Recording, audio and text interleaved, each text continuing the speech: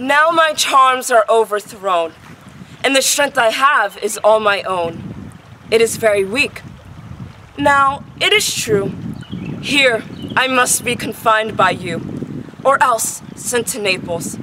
Let me not, since I have my duchy got and have forgiven the deceiver.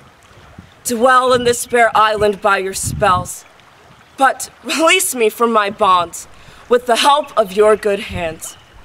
Gentle breath of yours my sails must fill, or else my project fails, and I will end up in despair, unless I be relieved by prayer, which pierces so that it assaults mercy itself and frees all faults, as you from crimes would pardoned be.